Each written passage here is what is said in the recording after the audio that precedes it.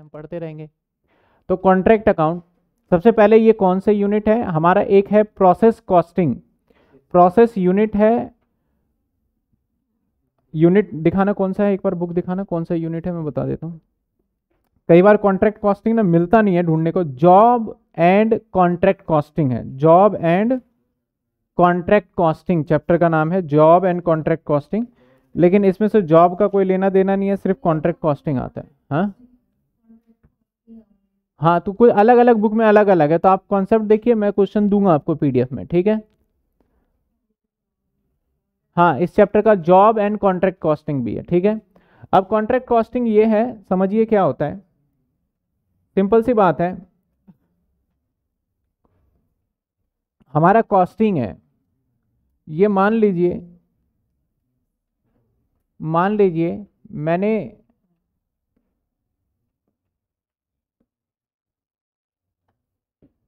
मैंने क्या करा? बिल्डिंग बना दी एक। और बिल्डिंग की अगर हम बात करते हैं तो आप अच्छे से जानते हो कि बिल्डिंग जब बनता है ना तो ये भी एक टेक्निकल पार्ट है। मैंने एक बिल्डिंग बनाया।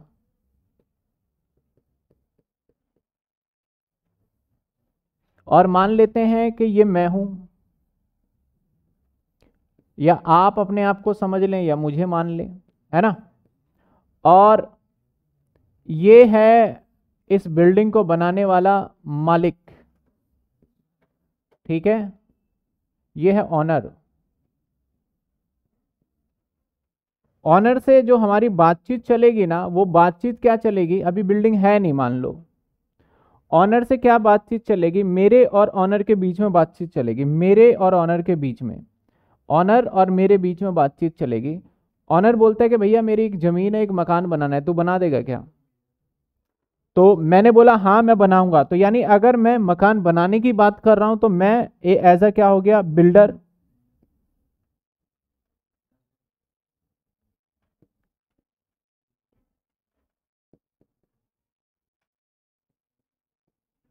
मैं बिल्डर हो गया या हो गया कॉन्ट्रैक्टर। कॉन्ट्रैक्टर हो गया मैं, या फिर हिंदी शब्द में बोल दो मुझे। बड़ी सीधी सी बात है, ठेकेदार हो गया। है ना? यही काम करते हैं, सिंपल सी बात है। तो ये मेरे को बोलेगा कि भाई, मेरा मकान बना दो। तो मकान बनाने का प्रोसीजर पता है क्या होता है? हम दोनों के बीच में ना एक एग्रीमेंट होगा। हम दोनों के बीच में एक एग्रीमेंट होगा। इस एग्रीमेंट के अंदर सारी बातें लिखी जाएगी कि मैं तेरा कितना बिल्डिंग बनाने वाला हूँ, मैं तेरा कितना फ्लोर बनाऊँगा, कितना पैसा लूँगा हर फ्लोर का मटेरियल के साथ ठेका दे रहा है या विदाउट मटेरियल के दे रहा है, सारी बातें लिखी होगी इसके अंदर। और जब ये टर्म्स एंड कंडीशन हो जाएगा तो मैं इसको ये बिल्डिंग रातों रात तो नहीं बना के दे सकता, लेकिन हाँ धीरे धीरे धीरे मैं इस बिल्डिंग को बनाता रहूँगा और बनता रहेगा। ठीक है ना? धीरे धीरे ये बिल्डिंग बनता रहेगा। तो इस केस के अंदर ये जो व्यक्ति है ना ये कौन है? ऑनर इसको ना इस शब्द के अंदर बोला गया कॉन्ट्रैक्टी यहाँ पे क्या बोला गया है? कॉन्ट्रैक्टी तो पहले दो शब्द को समझना आप। एक है कॉन्ट्रैक्टर और एक क्या है सर? कॉन्ट्रैक्टी तो दोनों के शब्दों में फ़र्क है। कॉन्ट्रैक्टर कौन होता है? जो कि होता है ठेकेदार, जो कि बनाएगा। और कॉन्ट्रैक्टी कौन होता है? जो कि दे रहा है ठेका मालिक। हम बिल्डिंग बनाएँगे तो हमारे लिए चैलेंज है कि जब हम बनाएँगे तो हम कहीं ना कहीं अपने लिए एक पी एंडल तैयार करेंगे। क्योंकि आप जो भी व्यापारी हो पी एंडल बनाएगा, चाहे परचून की दुकान कर रहा हो, चाहे सब्ज़ी बेच रहा हो, चाहे ठेकेदार हो, अपना प्रॉफिट तो निकालेगा, जब तक प्रॉफिट नहीं होगा बिज़नेस में काम कैसे कर सकता है। तो प्रॉफिट निकालने के लिए जो इस मुझे पैसे देगा, अब मैं सेल मेरे लिए क्या है? अगर मैं कॉन्ट्रैक्टर हूँ तो मेरे लिए सेल क्या है? सेल का मतलब मैं सिंपल सी बात जानता हूँ, भैया, जहाँ जब पैसा आता है ना रेगुलर उसी फ्लो से उसे सेल बोलते हैं। मैं ट्यूशन पढ़ा रहा हूँ तो मेरे लिए सेल्स क्या है? जो मैं पढ़ा रहा हूँ, ये मेरे लिए सेल्स है। सब्ज़ी वाले के लिए सब्ज़ी बेच रहा है, सेल्स है। तो कॉन्ट्रैक्टर के पास पैसा कहाँ से आएगा? कॉन्ट्रैक्टर के पास पैसा आएगा जो ऑनर देगा। तो सेल इसके लिए क्या होगा, सर? सेल होगा इसका कॉन्ट्रैक्ट अमाउंट। है कि नहीं? इधर आ जाएगा कॉन्ट्रैक्ट अमाउंट। और सर, इसके खर्चे क्या होंगे? इसके खर्चे क्या हो सकते हैं? इसका सीमेंट खर्च हो सकता है, ब्रिक्स खर्च हो सकता है इसका, या फिर आयरन खर्च हो सकता है, इसका स्टील खर्च हो सकता है, लेबर खर्च होगा, इसका यही सारा तो खर्चा होगा, और वो सारे खर्चे इसके यहाँ पे आ जाएँगे। समझ रहे हो बात? उसके बाद हम क्या करेंगे भैया? सेल पता चल गया, सब कुछ पता चल गया, क्लोजिंग स्टॉक भी यहाँ जाएगा, यहाँ पे क्या निकल जाएगा? Net profit. तो बहुत आसान चैप्टर, पंद्रह नंबर एकदम फ्री के दे दिए जाते हैं एक तरीके से। आपको पी एंडल अगर समझ में आ गया ना, जिस बच्चों को थोड़ा भी याद है ना कि पी एंडल में सर ऐसे डेबिट क्रेडिट करके ऐसे निकालते हैं, चैप्टर खत्म हो जाता है वहाँ पे। हमें इस चैप्टर के अंदर क्या क्या सीखना है कॉन्ट्रैक्ट अकाउंट के अंदर? कितने प्रकार के अकाउंट बनाने हैं? सबसे पहले एक अकाउंट बनाने हमें कॉन्ट्रैक्ट अकाउंट। नंबर दो, कॉन्ट्रैक्ट अकाउंट ही आता है सिर्फ़ एग्ज़ाम में बनाने को। बहुत एडवांस कॉन्सेप्ट आ गया तो बोल देगा, भाई तू एक काम कर यार, कॉन्ट्रैक्ट ही अकाउंट भी बना दे। और बहुत एडवांस हो गया तो बोलेगा, तू एक काम कर बैलेंस शीट भी बना दे। और सर, इसका बैलेंस शीट इतना मज़ेदार है ना जो पुराने हम बैलेंस शीट करते थे एक एक घंटा लगता था, चार से पाँच मिनट से ज़्यादा टाइम नहीं लगेगा इसके बैलेंस शीट में, क्योंकि पूरी बैलेंस शीट बनाएँगे नहीं, सिर्फ़ एक जो बनाएँगे ना कॉन्ट्रेक्टर स्टॉक स्टॉक लिख के खत्म कर देंगे बस। एक फॉर्मेलिटी मान के चलो। तो यहाँ पे इस अकाउंट के सबसे पहले समझो कॉन्ट्रैक्ट अकाउंट कॉन्ट्रैक्ट अकाउंट कौन बना रहा है? ठेकेदार बना रहा है। ठेकेदार क्यों बना रहा है? अपना प्रॉफिट एंड लॉस निकालने के लिए। उसका प्रॉफिट एंड लॉस क्या आएगा? एक्चुअल इसको कौन सा ए एस गवर्न करता है? ए एस सात। ए एस सेवन के अकॉर्डिंग चलते हैं। इसको गवर्न करता है ए एस सेवन लेकिन हमारे कॉस्टिंग के अंदर ना ए एस नहीं होता हमारा। कॉस्टिंग के स्टैंडर्ड्स कुछ नए आए हैं पिछले सालों में। तो वो हमें पढ़ने पड़ेंगे। उससे लेना देना नहीं अभी हम पहले इस सवाल पे फोकस करते हैं। पहले बेसिक कॉन्सेप्ट देखिए सर बेसिक कॉन्सेप्ट क्या है? हम सीख रहे हैं कॉन्ट्रैक्ट अकाउंट कॉन्ट्रैक्ट अकाउंट कौन बनाएगा? ठेकेदार बनाएगा। ठेकेदार को क्या बोलेंगे? कॉन्ट्रैक्टर और जो कॉन्ट्रैक्ट देगा हमें, उसे बोलेंगे कॉन्ट्रैक्टी समझ में आई बात आपको? और किसके लिए काम करेंगे? हम अपने लिए। हाँ ऑनर नहीं, हम ही बनाएँगे उसका अकाउंट भी। ये कुछ नहीं करेगा, ये तो मौज करेगा और ये सिर्फ़ पैसा देगा। ये सिर्फ़ आएगा।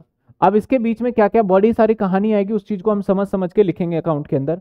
तो मैं सबसे पहले जो आपके सामने शेयर करने जा रहा हूँ, सबसे पहले बनाने जा रहा हूँ कॉन्ट्रैक्ट अकाउंट सबसे पहले बनाने जा रहा हूँ कॉन्ट्रैक्ट काफ़ी बच्चे ना रिकॉर्डेड क्लासेस लेते हैं। तो वो बच्चे भी मैंने पहले बता दिया तो लाइव क्लास में लोगों ने तो समझ जाना है कि भैया मटेरियल चैप्टर ना अभी हुआ नहीं है, और मटेरियल चैप्टर फिर हम अलग से कर लेंगे। और किसी को ना मान लो कोई बच्चा बोलता है, सर, मेरी आज ना फ़र्स्ट क्लास है। क्या समझ में आएगा? बिल्कुल हंड्रेड एंड वन परसेंट समझ में आएगा। किसी चीज़ से कोई लेना देना नहीं है, सर, इसका। किसी चैप्टर से कोई लेना देना नहीं है। आपके जीवन में जितना भी है, जो बच्चा साइंस का आर्ट्स का भी बैठेगा, उसको भी समझ में आ जाएगा इसमें तो।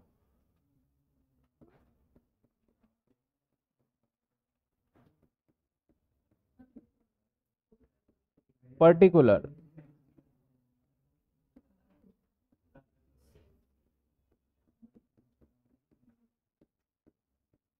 ठीक है ना पर्टिकुलर ये है हमारा अकाउंट इस अकाउंट को हम एक बार फटाफट से फिल करते हैं और देखेंगे, ठीक है? सबसे पहले टू साइड में क्या लिखूँगा मैं? खर्चे. एक तरीके से मैं थोड़ा सा बेसिक कॉन्सेप्ट क्लियर करने के लिए मैं बोल दूँ, इधर सारे खर्चे आ जाएँगे और इधर सारे हमारे जो रिसिट्स होंगे वो आ जाएँगे. खर्चा क्या होगा? मेजर खर्चा होता है हमारा सबसे पहले मटीरियल ठीक है ना? सर मटीरियल क्या हो सकता है? सीमेंट हो सकता है, रेत हो सकता है आपका और भी सारे जो चीज़ लगते हैं भैया मकान बनाने में, वही होगा। मटेरियल के बाद जो मेजर खर्चा होगा, लेबर। और लेबर को वेजेस भी कहते हैं हम। उसके बाद मेजर खर्चा होगा ओवरहेड सर ओवरहेड खर्चे को ही बोलते हैं। इसके अंदर क्या क्या आ सकता है? सब कुछ आ सकता है। जैसे आ सकता है ऑफ़िस एक्सपेंस इसमें आ सकता है सैलरी इसमें अब कई बार ना ऐसा होता है आपका कि आउटस्टैंडिंग भी गिवन होगा। तो मैं मान लेता हूँ कि यहाँ पे लिख देता हूँ सपोज़ करो और क्या खर्चा होता है? खर्चा जनरल एक्सपेंस और क्वेश्चन में कहता है आउटस्टैंडिंग है तो प्लस कर देंगे आउटस्टैंडिंग वही पी एंडल वाला फंडा। ठीक है ना? और प्रीपेड होगा तो क्या कर देंगे अपन? माइनस कर देंगे। समझ में आ रही है बात आपको? तो ये आ गया हमारा कौन सा साइड डेबिट साइड जिसके अंदर हमने सारे बुक क्या कर दिए सर खर्चे कर दिए। पहले यहाँ तक किसी को दिक्कत है, समझ में आ रहा है फटाफट से। अब बाय साइड में पता है क्या लिखेंगे? बाय साइड में, अब मुझे एक बात बताना। कॉन्ट्रैक्ट जो मकान उकान बनाते हैं तो कितना टाइम लगता है या फिर जल्दी बन जाता है ये? टाइम लगता है। मैं नेताजी सुभाष पैलेस के पास शकरपुर में रहता हूँ तो यहाँ पे एक बिल्डिंग है। और बिल्डिंग मैं देख रहा हूँ पीपी ज्वेलर्स के साथ में। शायद मैं छठी क्लास में था, तब मैं देख रहा था और अभी बनी रहे ठीक है, आप सबने भी देखा होगा, आप भी बचपन में थे, तब भी वही बन रहा था और आप बड़े भी हो गए, तब भी वही बन रहा है। तो करीब मेरे को लग रहा है दस बारह साल से दस बारह साल से भी पता नहीं कितने साल हो गए उसको बनते हुए, मैं तो देख ही रहा हूँ, कभी तोड़ते हैं, फिर बनाते हैं। तो बिल्डिंग बनाने का ना एक लॉन्ग प्रोसेस होता है और हमें अकाउंटिंग एक साल की करनी है। तो होता क्या है जनरली, अगर मान लेते हैं कि हमारा कॉन्ट्रैक्टर का ठेकेदार लिया पाँच सालों का, ठीक है ना? पाँच सालों का ठेके लिया है तो वो हर साल का अकाउंट बनाएगा ना? एक साल, दो साल, तीन साल, चार साल और पाँच साल। हर साल का अकाउंट बनाएगा। मान लो सपोज़ हमें यहाँ पे अकाउंटिंग करना है। तो यहाँ पे होता क्या है जनरली सारा कॉन्ट्रैक्ट का पैसा हमें यहाँ नहीं मिलता। सारा कॉन्ट्रैक्ट का पैसा नहीं मिलता। आप सोच लो, आप मकान बनवाओगे अपना तो ठेकेदार को थोड़ी बोलोगे, भाई, कितने का ठेका लिया? उसने बोला, मैं बीस लाख रुपए में तेरा मकान बना दूँगा। और आपने बोला, ऐसे थोड़ी करोगे, ले बीस लाख रुपए और मकान बना। आप बोलोगे, ठीक है, मकान बनाओ, एक लाख रुपए एडवांस रखो और बनाओ। फिर ठेकेदार आएगा, बोलेगा, भाई, एक लेंटर डाल दिया और पैसे दो, ठीक है, चार लाख रुपए और ले लो। यानी जैसे जैसे वो काम को फिनिश करता जाएगा, वैसे वैसे पेमेंट करेंगे। तो यहाँ पे जो कॉन्ट्रैक्टर को जो पैसे मिलते हैं ना, वो मिलता है अकॉर्डिंग टू वर्क डन ठीक है ना? आप खुद ऑब्ज़र्व करो as a person normal person चलो, आपको मकान बनाना है और आपका मकान सोचो कि पचास लाख रुपए में बनने को तैयार है तो एकदम से पचास लाख थोड़ी दोगे धीरे धीरे दोगे। तो हमें इस साल का अकाउंटिंग करना है तो इस साल का करने के लिए तो बाय कॉन्ट्रैक्ट प्राइस तो नहीं लिख सकते ना। अगर मैं यहाँ लिख दूँ बाय कॉन्ट्रैक्ट प्राइस और पूरे पचास लाख लिख दूँ तो ऐसा पॉसिबल ही नहीं है, भाई, कहाँ से मिल जाएँगे तेरे को पचास लाख? जितना पैसा मिलेगा वही तो सेल मानोगे। तो सर यहाँ पे करने क्या वाले हैं हम? जितना पैसा मिलेगा वही लिखेंगे तो यहाँ पे हमें मिलेगा क्या सर? यहाँ पे काम डन हो गया या नहीं हुआ? वर्क डन हो गया या नहीं हुआ? मुझे जवाब दीजिए। वर्क डन हुआ या नहीं हुआ? जब वर्क डन नहीं होता तो एक प्यारा सा नाम बोलते हैं वर्क इन प्रोग्रेस ठीक है ना? कार्य प्रगति पर है। वर्क इन प्रोग्रेस तो हम यहाँ पे कॉन्ट्रैक्ट ना लिख के क्या लिखेंगे? वर्क इन प्रोग्रेस ये हेडिंग हो गया वर्क इन प्रोग्रेस ठीक है? अब वर्क इन प्रोग्रेस के अंदर दो बातें हो सकती है वर्क सर्टिफाइड हो सकता है वर्क नॉट सर्टिफाइड हो सकता है। सर, ये क्या झमेला है वर्क सर्टिफाइड और नॉट सर्टिफाइड क्या है? बड़े आसान शब्दों में समझिएगा वर्क सर्टिफाइड क्या है वर्क नॉट सर्टिफाइड क्या है?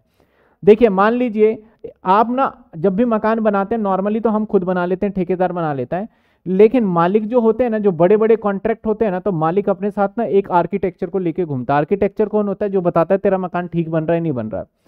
क्योंकि ठेकेदार क्या बना रहा है, कैसे बना रहा है, जो डिज़ाइन है वो बना रहा है, नहीं बना रहा, वो चीज़ें तो मैं अपना काम मान लेते हैं कि अगर मैं अपना मकान बना रहा हूँ तो मैंने किसी को बोला कि ले भाई तू अपनी फ़ीस ले ले और एक बार चल के देख ठेकेदार ठीक से काम कर भी रहा है या फिर नहीं कर रहा। तो ठेकेदार मान लेते हैं पूरा साल है। ठेकेदार काम कर रहा है, कर रहा है, कर रहा है, कर रहा है, कर रहा है। आर्किटेक्चर को मैंने यहाँ बुला लिया। बोला, भाई देख और डेली में आर्किटेक्चर को बोलूँगा, देख तो आर्किटेक्चर गुस्सा हो जाएगा। बोलेगा, भाई, क्या क्या डेली डेली बुला लेता है? एक बार एक बार बुला ले, इकट्ठा कितना हुआ, वो होगा।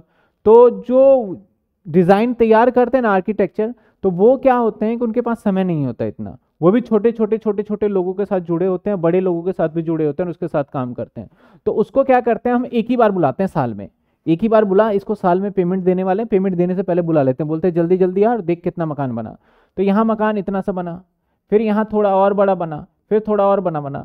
आर्किटेक्चर को बुलाया तो ऐसा मे भी पॉसिबल है कि आर्किटेक्चर मेरे पास एक मार्च को आ गया, एक तीन को आ गया, और उसने मकान को देख लिया कितना बना है, नहीं बना कब आ गया? एक मार्च को। फिर मैं दो मार्च को बुलाऊँगा तो आएगा क्या वो? नहीं आएगा। एक मार्च को आने के बाद आर्किटेक्चर ने बोला, मकान को देखा भाई, ये रहा मेरा मकान मकान को देखा हाँ भाई, तेरा मकान तो बन रहा है, और तेरा मकान पूरा कितने का था? पचास लाख का मैंने बोला, भाई, ठेका दिया। बोला, पचास लाख का थोड़ी काम हुआ है अभी। अभी तो मान ले बीस परसेंट काम हुआ है तेरा। कितना परसेंट काम हुआ है? बीस परसेंट। आर्किटेक्चर ने बोला, कितना काम हुआ है? तो मैं ठेकेदार को कितना पैसा दूँगा? बीस परसेंट ही दूँगा। जितना काम किया, उतना पैसा ले भाई तू। मैं पचास लाख थोड़ी दूँगा। तो इस कॉन्सेप्ट को जो आर्किटेक्चर बोल के जा रहे हैं ना कि तेरा बीस परसेंट काम हुआ है, इस कॉन्सेप्ट को बोलते हैं वर्क सर्टिफाइड इसको क्या बोलेंगे हम?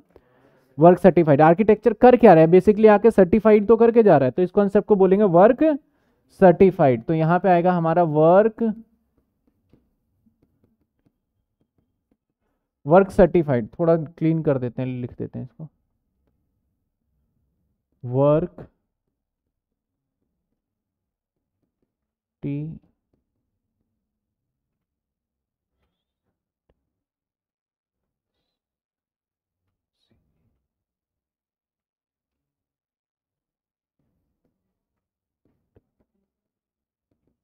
वर्क सर्टिफाइड ठीक है ना? अब भैया आर्किटेक्चर को यहाँ बुलाया, वो कहाँ चले गया? अब अपने दूसरे काम पे चले गया। क्या ठेकेदार इस काम के बाद एक तीन, क्योंकि साल खत्म कब होगा हमारा?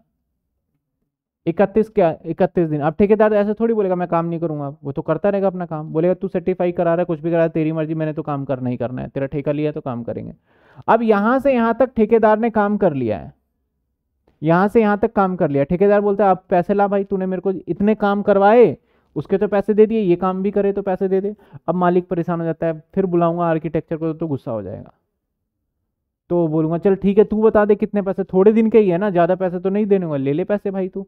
तो अब जो हम उसको पैसे हम ले, ठेकेदार को दे रहे हैं, यानी जो ठेकेदार ले रहा है, उस काम के पैसे ले रहा है जिसको आर्किटेक्चर ने सर्टिफाइड किया है, नहीं किया? नहीं किया। तो इसलिए उसका नाम पड़ जाता है work not certified work not तो आप लॉजिकली सोचो, एक बार दिमाग में सोचो, आप एक बात सोचो दिमाग के अंदर कि सर अल्टीमेटली ठेकेदार के लिए जितना पैसा आएगा वही तो सेल है। और पैसे दो ही आ सकते हैं, एक सर्टिफाइड जो करके गया वो आएगा और एक नॉट सर्टिफाइड वाला होगा वो आएगा। मान लो अगर आर्किटेक्चर मुझे जवाब देना एक सिंपल सा क्वेश्चन पूछता हूँ, देखते हैं कितने बच्चों को समझ में आ रहा है। मान लेते हैं, देखते हैं कितने बच्चों को समझ में आ रहा है। मान लेते हैं कि जो आर्किटेक्चर है ना वो आता है इकतीस तीन को, साल के एंड में। और यहाँ से यहाँ से यहाँ से यहाँ से काम चल रहा है। इकतीस तीन को आता है साल के एंड में। मुझे फटाफट से जवाब देना, बताओ वर्क नॉट सर्टिफाइड कितना होगा। कोई बच्चा बता सकता है वर्क नॉट सर्टिफाइड कितना होगा? वर्क नॉट सर्टिफाइड कितना होगा? निल बच्चों ने दिया zero zero zero zero zero. सभी का आंसर आ गया लगभग लगभग ज़ीरो। तो बड़ी बेसिक सी बात है, यानी आपको समझ में आया, एक बच्चा बोल रहा है, सर, समझ में नहीं आया वर्क नोटिस सर्टिफाइड यानी साल ये मेरा पूरा है, साल ये मेरा पूरा है, मैं इसे मिटा देता हूँ, मान लेते हैं ये मेरा पूरा साल है, सर। इस पूरे साल में जितने टाइम तक एक आर्किटेक्चर आके और बोल दे कि तेरा काम भाई डन हो गया है, यहाँ तक डन हो गया है तो यानी ये बंदा आर्किटेक्चर डन बोल देगा, उसे बोलेंगे वर्क सर्टिफाइड और जिस टाइम को वो नहीं बोल पाया, उसे बोलेंगे वर्क नॉट सर्टिफाइड समझ गए बात आप? तो सवाल में ज़रूरी नहीं है कि वर्क नॉट सर्टिफाइड होगा ही होगा। ऐसा भी हो सकता है इकतीस मार्च को तो वर्क सर्टिफाइड नहीं है।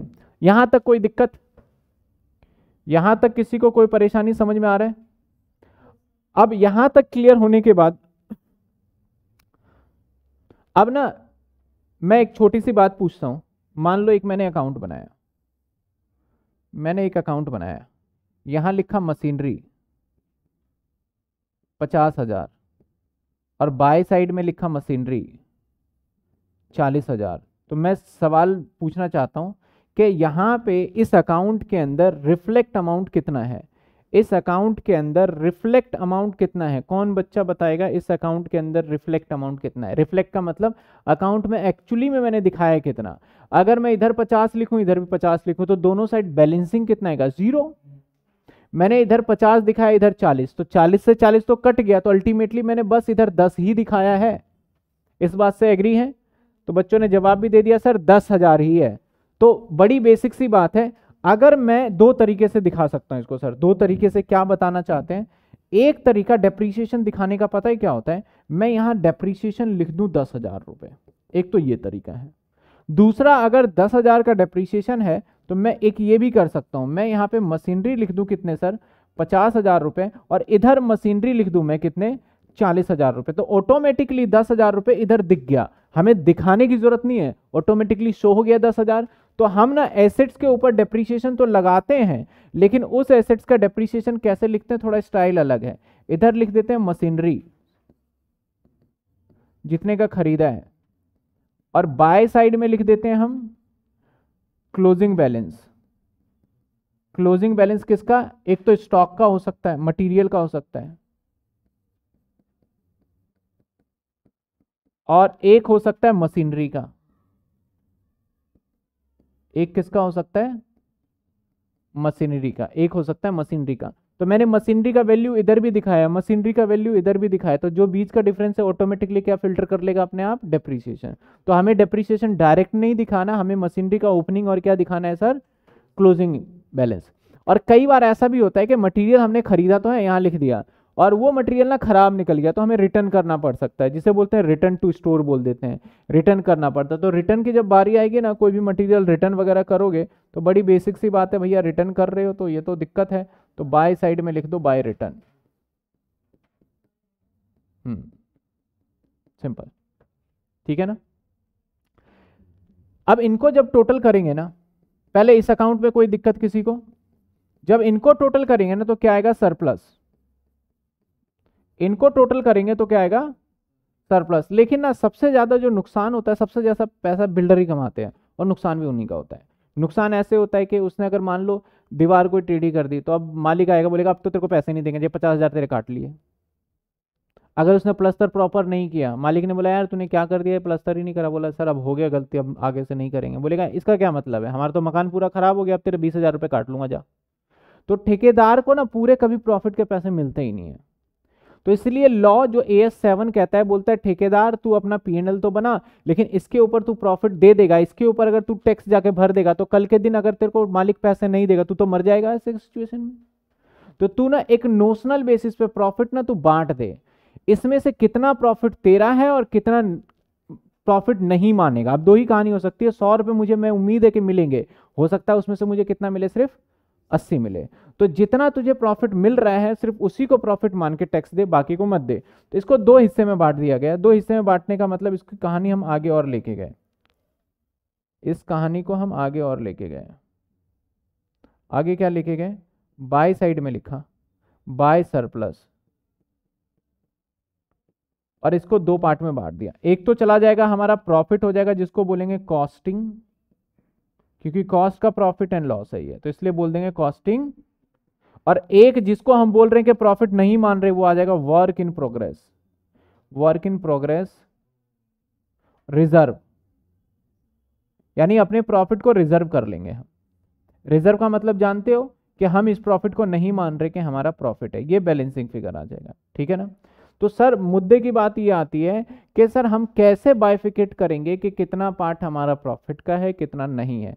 इसके लिए ना कुछ हमें कंडीशंस याद करने होते हैं कि अगर आपका इतने परसेंट वर्क डन हुआ तो इतना पार्ट आप प्रॉफिट मानिए, इतना पार्ट रिज़र्व रखिए। इतने परसेंट डन हुआ तो वो तो वो कंडीशन मैं लिखने जा रहा हूँ। पहले यहाँ तक देखिए, आप सभी बच्चों को समझ में आ गया है।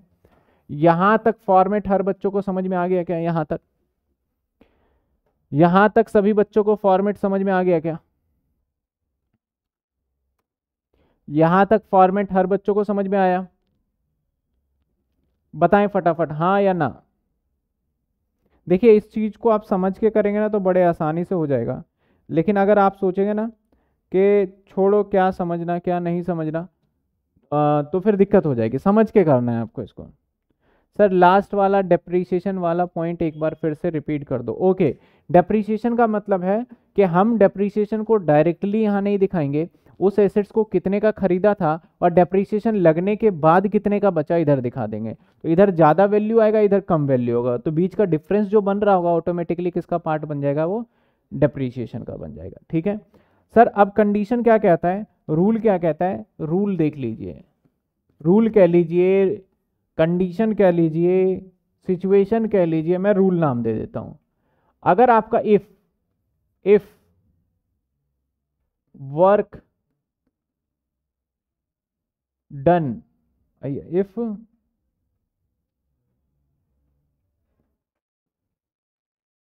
contract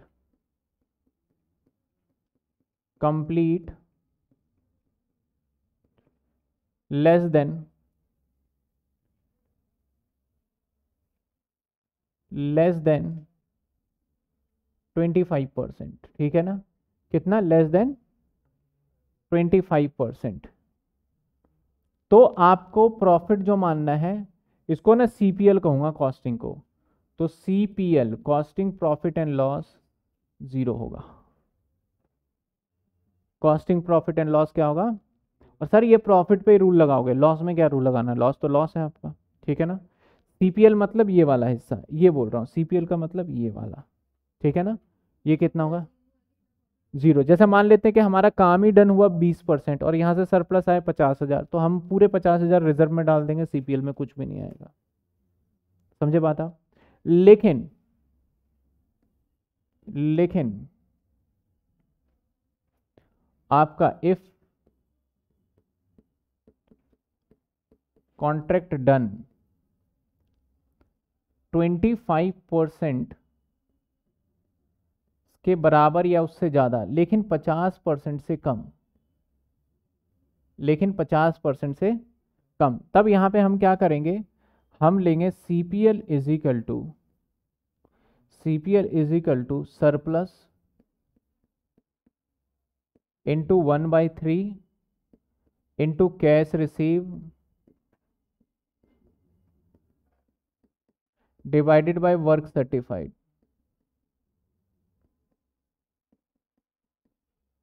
ये फॉर्मूला लगा के जो हमें मिलेगा वो होगा। सर कैश रिसीव हमेशा सवाल में गिवन होगा। वर्क सर्टिफाइड यही वाला आएगा। सरप्लस ये वाला आएगा। वन बाई थ्री फॉर्मूले का पार्ट है। जिस हिसाब से निकालते हैं, ठीक है? कहा गया, सर नंबर तीन।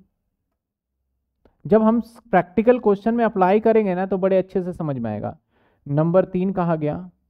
इफ़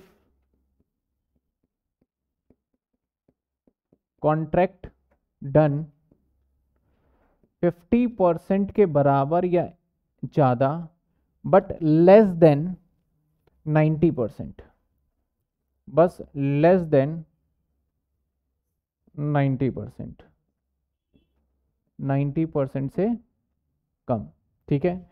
तब आपको लेना है C P L is equal to surplus into two by three into में। Cash receive divided by work certified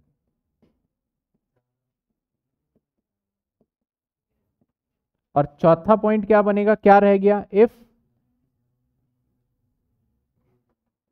अभी ना ये आपको थोड़ा सा ना लग रहा होगा सर, पता नहीं, शुरू में तो मज़ा आ रहा था, ये पॉइंट आ गया था थोड़ा सा। कॉम्प्लिकेटेड बन रहा है। तो बहुत आसान है जब सवाल करेंगे तो। इफ़ कॉन्ट्रैक्ट डन आपका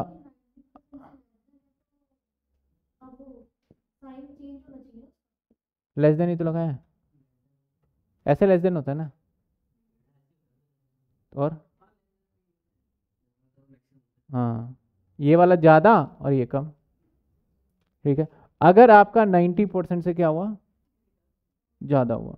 ठीक है? 90 परसेंट से ज़्यादा हुआ। तब आप करोगे, तब आप फॉर्मूला लगाओगे। तब आप फॉर्मूला लगाओगे सरप्लस इनटू में। Cash receive divided by contract price. ठीक है ना? इस फॉर्मूले से जो निकल के आएगा वो कहाँ पहुंचेगा सर? यहाँ। और बैलेंसिंग फिगर ये वाला होगा हमेशा। ठीक है ना? अब सर मुद्दे की बात है सर, कॉन्ट्रैक्ट कितना डन हुआ उसका भी कोई फॉर्मूला है। फॉर्मूला तो नहीं है। मैं सिंपल सी बात कहूँ कि मैंने कॉन्ट्रैक्ट लिया था दस लाख का। और मैंने सर्टिफाइड सब मिला के जो सर्टिफाइड हो गया मेरा सर्टिफाइड हो गया डन वो हो गया मान लेते हैं दो लाख रुपए का। तो बताओ कितने परसेंट काम कंप्लीट हो गया? मेरा कितने का था कॉन्ट्रैक्ट दस लाख। सर्टिफाइड कितना हो गया? कितने परसेंट काम कंप्लीट हो गया? बीस परसेंट हो गया ना? तो आप फॉर्मूला कैसे लगाया आपने बीस परसेंट? आपने दो लाख को ऊपर रखा, दस लाख को नीचे रखा, गुणा में क्या कर दिया? सौ। यही करा ना? तो यानी वर्क सर्टिफाइड का फॉर्मूला क्या होगा? वर्क डन का फॉर्मूला क्या होगा? अब फॉर्मूला बनाना चाहो तो वर्क सर्टिफाइड डब्ल्यू सी लिख रहा हूँ। डिवाइडेड बाय कॉन्ट्रैक्ट प्राइस गुना में, यानी इनटू में हंड्रेड इनटू में हंड्रेड। सभी बच्चों ने बता दिया बीस परसेंट। तो वर्क सर्टिफाइड निकालना होगा तो हम इस तरीके से निकालेंगे। इधर जगह नहीं था, इसलिए मैंने इधर कर दिया। पहले फॉर्मेट फॉर्मेट समझिए आप। बाकी कॉन्ट्रेक्ट्री और बैलेंस शीट में तो कुछ है ही नहीं सर बड़ा आसान सा चैप्टर है वो। पहले फॉर्मेट फॉर्मेट समझिए आप फटाफट से। बताइए कोई दिक्कत?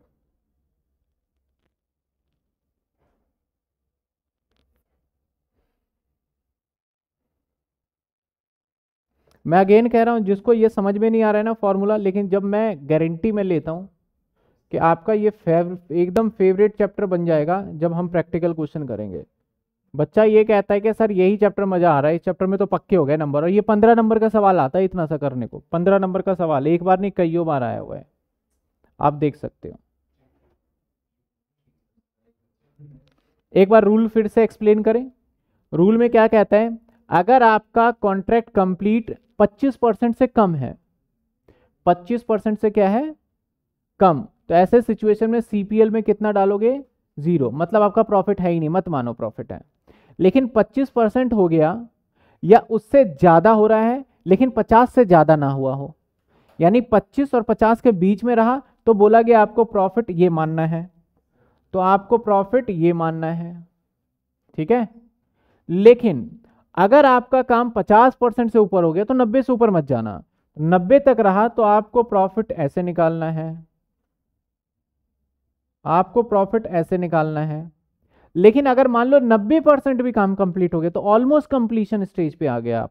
कंप्लीट पे हो। तो आपको प्रॉफिट ऐसे मानना है।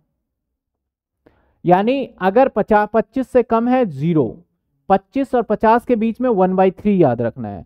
और कैश रिसीव वर्क सर्टिफाइड इसकी कहानी जब प्रैक्टिकल क्वेश्चन करेंगे तो समझेंगे हम।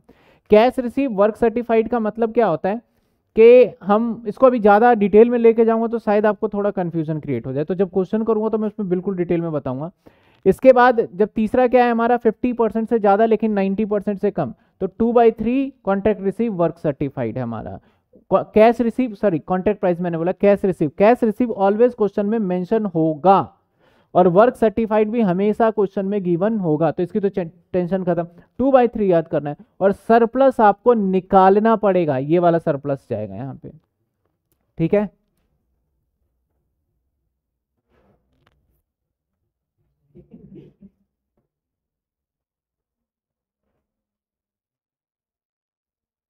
किसी को कोई डाउट डाउट बताइए, किसी को कोई डाउट है तो?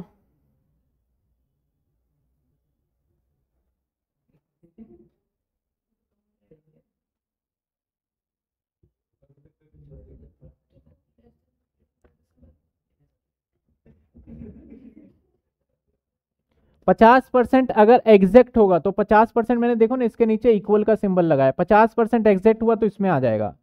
और यहाँ देखो लेस देन है तो पचास परसेंट से कम हुआ तो इधर आ जाएगा। पच्चीस से कम हुआ तो एग्जैक्ट पच्चीस हुआ तो इधर आ जाएगा।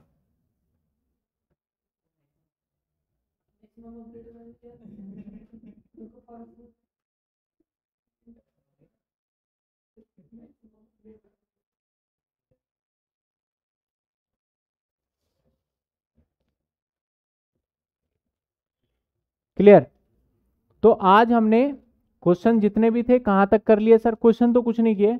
एक बेसिक बेसिक कॉन्सेप्ट ले लिया। बेसिक बेसिक कॉन्सेप्ट क्या लिया सर ये कॉन्ट्रैक्ट अकाउंट हमारा चैप्टर है और ठेकेदार इस चैप्टर को बनाएगा कॉन्ट्रैक्टर इस चैप्टर को बनाएगा और जो कॉन्ट्रैक्ट देता है, उसको क्या बोलते हैं? कॉन्ट्रैक्टी बोलते हैं। यहाँ कितने तरीके के अकाउंट बन सकते हैं? एक बनेगा हमारा कॉन्ट्रैक्ट अकाउंट एक बनेगा कॉन्ट्रैक्टी और एक बनेगा बैलेंस शीट लेकिन ज़्यादातर सवाल जो आता है, सिर्फ़ किसका आता है? कॉन्ट्रैक्ट अकाउंट का। कॉन्ट्रैक्ट अकाउंट बनाने के लिए क्या करना होगा? इधर सारे खर्चे और इधर सारे इनकम इनकम की बात करें तो इनकम एक ही होता है हमारा, जो कि हमें पैसे मिलता है। पैसे दो तरीके से मिल सकता है, या तो वर्क सर्टिफाइड से मिलेगा या वर्क नॉट दोनों को मिला के हमें मिल जाएगा। इसके बाद बात करें प्रॉफिट जो प्रॉफिट निकल के आएगा, वो सारा प्रॉफिट हमें प्रॉफिट नहीं मानना। उस प्रॉफिट में से भी कुछ हिस्से को हमें क्या करना है? रिज़र्व में ट्रांसफ़र करना है। तो कितना प्रॉफिट प्रॉफिट मानना है? तो ये डिपेंड करेगा आपका कंप्लीशन ऑफ़ वर्क पे। अगर आपका काम 25 परसेंट से, अगर आपका काम 25 परसेंट से ज़्यादा होता है या पहले 25 परसेंट से कम होता है तो ज़ीरो आपको मानना है। सारा रिज़र्व में रखो आप। अभी आप कमाने लायक नहीं बने। लेकिन अगर आपका 25 से ज़्यादा लेकिन 50 से कम होता है तो आप कुछ पैसा कमा रहे हो। वन बाई थ्री हिस्सा आप कहाँ मान लो? प्रॉफिट में मान लो। Cash receive divided by work certified के। अगर आप 50 से भी ऊपर पहुँच गए तो आप टू बाई थ्री अपने सरप्लस में मान लो, प्रॉफिट के सीपीएल में मान लो, बाकी कहाँ डाल दो? रिज़र्व में। और अगर आप ज़्यादा कमाते हो तो सारा पैसा लगभग लगभग प्रॉफिट में ही आ जाएगा। कुछ रिज़र्व रखने की ज़रूरत नहीं पड़ेगी 90 परसेंट में आप देखोगे, क्योंकि यहाँ पे one by three, one by two कुछ भी नहीं रखा है। ठीक है ना? बताइए, क्लियर? हाँ ये लगभग फोर्थ यूनिट का चैप्टर बोल सकते हो। यूनिट दिया है क्या किताब में? देखना कौन सी यूनिट का है। DU का किसी के पास सिलेबस था ना? फ़ोन में दिखा रहे थे कॉस्टिंग का। हाँ? यूनिट फोर्थ का है, दिखाना एक बार। मैं बता दूँ, मैंने गलती कर दी, पहले मुझे ना बता देना चाहिए था। यूनिट थर्ड, फोर्थ हाँ फोर्थ, मेथड ऑफ़ कॉस्टिंग। मैं, वही मेरे दिमाग में नाम ये याद नहीं आ रहा था। मेथड ऑफ़ कॉस्टिंग, इसमें दो चैप्टर है। एक ये है आपका कॉन्ट्रैक्ट, एक है प्रोसेस अकाउंट। एक इसके अंदर आएगा प्रोसेस अकाउंट इसमें दिख रहा है, नहीं दिख रहा? हाँ process joint product and by product. तो इसके बाद तो हम प्रोसेस ही करने वाले हैं। Method of costing, unit four इसी में सर्विस कॉस्टिंग भी है। हाँ सर्विस कॉस्टिंग तीन चैप्टर है यूनिट फोर और जो यूनिट नंबर फोर है ना तो ऐसे बात करें ना हम लाइफ के अंदर तो कुछ ऐसा एरिया होता है, ऐसा कोर होता है जहाँ पे के मान के चलो सबसे ज़्यादा तो यूनिट नंबर फोर से सबसे ज़्यादा सवाल पूछा जाएगा। कई बार ऐसा हुआ है कि इस यूनिट से 30 से 45 नंबर का सवाल पूछा गया है। मतलब कॉन्ट्रैक्ट अलग आ गया प्रोसेस अलग आ गया सर्विस अलग आ गया। तो तीन चैप्टर हो गए 45 नंबर का कवर हो गया। लेकिन इस यूनिट से मिनिमम 20 नंबर का क्वेश्चन आना तय है।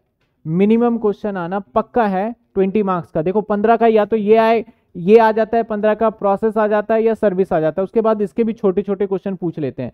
प्रॉफिट दे देंगे सरप्लस और बोलेंगे इसका बताओ कॉन्ट्रैक्ट अकाउंट में कितना पार्ट जाएगा इस तरीके से। ठीक है ना?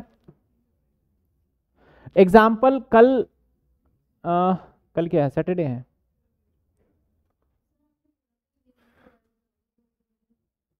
नहीं, उस लाइव वालों को नहीं है। इस चैप्टर में कितने यूनिट लगेंगे? सवाल मेरे ख्याल ज़्यादा नहीं है। इस चैप्टर के सवाल मेरे ख्याल बारह पंद्रह सवाल होंगे। तो मान के चलो चार क्लासेस चार से पाँच क्लासेस मान के चलो। पाँच क्लासेस का मतलब आप दस से बारह दिन। पाँच क्लासेस भी नहीं लगने वाले। छोटे छोटे क्वेश्चन हैं। एग्ज़ाम्पल अभी करा नहीं पाएँगे। थोड़ा सा मेरे को भी देखना है, मैंने इसलिए आज नया चैप्टर स्टार्ट किया है, अगर एग्ज़ाम्पल भी डाल दूँगा, फिर ये वाला पोर्शन ना हैवी हो जाएगा काफ़ी। आपके लिए मैं प्रपोर्शनेट भी समझाने लगूँगा तो फिर बोलोगे, अरे, इतना अच्छा आ रहा था, फिर चला गया दिमाग से। कॉस्टिंग पी एंड एल का मीनिंग होता है, जो प्रॉफिट कमाया है। फाइनेंस के लिए सिर्फ़ पी एंड एल बोलते हैं कॉस्ट से कमाया गया profit costing P and L हाँ। कुशल अभी नहीं करेंगे क्वेश्चन हम सॉरी काजल अभी नहीं करेंगे क्वेश्चन ऑनर्स में आता, बिल्कुल, मैं जब बोल रहा हूँ ना, जब मैं बोलता हूँ ना फिफ्टीन मार्क्स तो सब बच्चों के लिए फिफ्टीन मार्क्स का होता है, सबके लिए इंपॉर्टेंट चैप्टर है।